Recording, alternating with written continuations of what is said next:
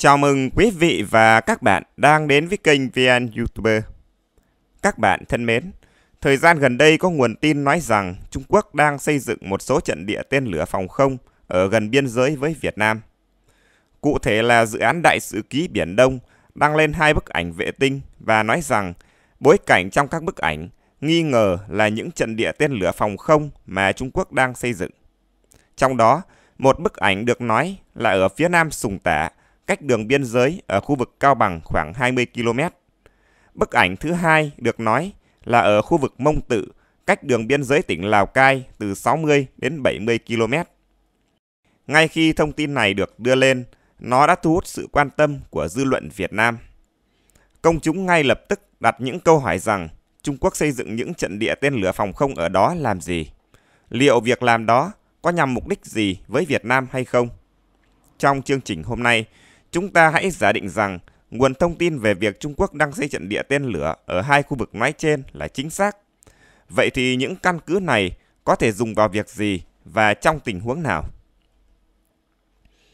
Trước hết, chúng ta biết rằng tên lửa phòng không nói chung là một loại vũ khí phòng thủ dùng để chống lại các phương tiện tấn công đường không như máy bay, tên lửa hành trình, tên lửa đạn đạo.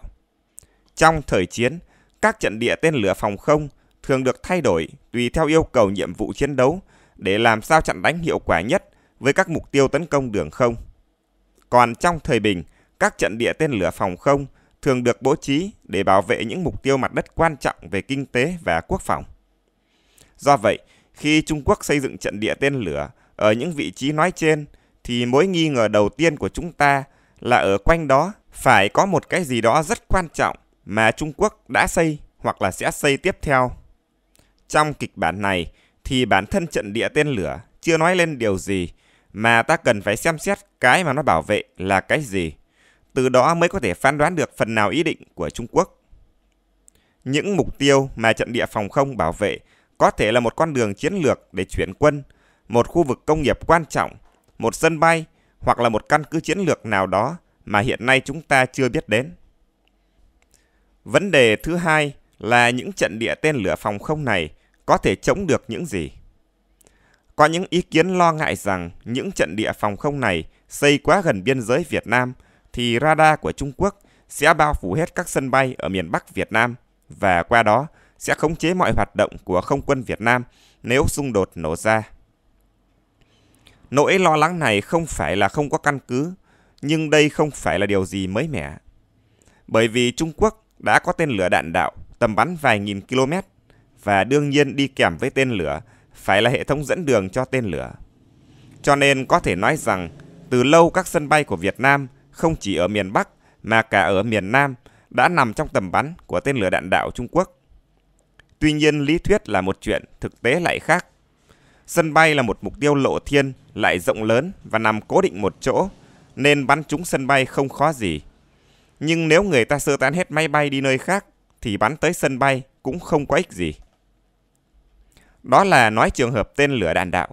Còn đối với tên lửa phòng không, radar có thể vươn cánh sóng đi rất xa, nhưng tầm bắn hiệu quả của tên lửa lại chỉ có giới hạn. Những loại tên lửa hiện đại như S-300, S-400, tầm bắn xa nhất có thể đạt 200 và 400 km. Nhưng nhược điểm là muốn bắn ở tầm bắn tối đa thì phải bắn mục tiêu bay ở độ cao lớn. Ví dụ như người ta nói tên lửa S-400 có thể bắn mục tiêu bay ở độ cao 10m đến độ cao 27 km. Nhưng có một điểm cần nêu là vùng bắn hiệu quả của tên lửa là một hình nón ngược, cho nên cự ly bắn càng xa thì độ cao càng lớn.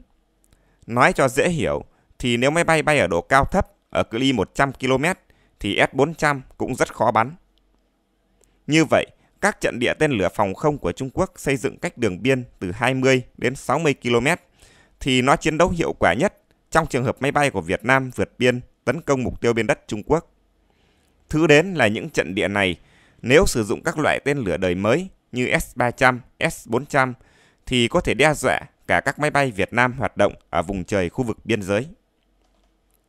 Tuy nhiên, so sánh tương quan lực lượng không quân hiện nay, Trung Quốc đang ưu thế áp đảo Việt Nam về mặt số lượng. Do vậy, nếu trong trường hợp tồi tệ xảy ra chiến tranh toàn diện giữa hai nước, thì không quân Việt Nam vẫn phải ở thế phòng thủ trước không quân Trung Quốc, nên việc tổ chức tấn công qua đất Trung Quốc không phải là không thể, nhưng cơ hội không có nhiều. Khi khả năng phải chống máy bay đã ít, thì khả năng nhiều nhất là những trận địa này dùng để đánh chặn tên lửa đạn đạo và tên lửa hành trình. Hiện nay Việt Nam có một số lượng tên lửa đạn đạo tấn công mặt đất đời cũ là Scud. Những tên lửa này có thể tấn công vào các mục tiêu diện rộng như sân bay, kho tàng, căn cứ lớn, khu vực tập kết lực lượng chuẩn bị tiến công. Tuy nhiên, trận địa của Trung Quốc xây ở đây có thể không phải chỉ để đề phòng tên lửa của Việt Nam. Nếu Trung Quốc xung đột quân sự toàn diện với Mỹ, thì tàu ngầm tàu chiến của Mỹ có thể bắn tên lửa hành trình, tên lửa đạn đạo từ nhiều hướng vào Trung Quốc. Ở Đông Bắc, Đông và Đông Nam Trung Quốc đã xây dựng được hệ thống phòng thủ tên lửa hoàn chỉnh từ nhiều năm nay, nhưng phía Nam và Tây Nam thì trước nay họ chưa chú ý nhiều. Đến nay, sáng kiến vành đai và con đường đang triển khai xuống phía Nam, xuyên qua Lào và Campuchia. Khu vực Vân Nam, rồi đây sẽ thành một đầu cầu cửa ngõ để Trung Quốc kết nối đường bộ với Lào và Campuchia. Và phía Trung Quốc đã nói đến ý định biến nơi đây thành trung tâm giao thương giữa Trung Quốc với Đông Nam Á lục địa nhằm hạ thấp giá trị về địa lý của Việt Nam. Như vậy, việc xây dựng thêm các căn cứ tên lửa này, đặc biệt là căn cứ ở Mông Tự, có thể là để bổ sung thế trận phòng thủ cho chương trình mới của Trung Quốc. Qua một vài điểm nêu trên, tôi nghĩ rằng bản thân các trận địa tên lửa phòng không này không đáng lo ngại bằng cái mà nó có nhiệm vụ bảo vệ. Chỉ khi ta hiểu được nó được bố trí để bảo vệ ca cho cái gì, ta mới có thể phán đoán được ý đồ của Trung Quốc muốn làm gì hay muốn chuẩn bị cho cái gì. Chương trình hôm nay xin tạm dừng tại đây. Cảm ơn quý vị đã quan tâm theo dõi. Xin chào tạm biệt và hẹn gặp lại.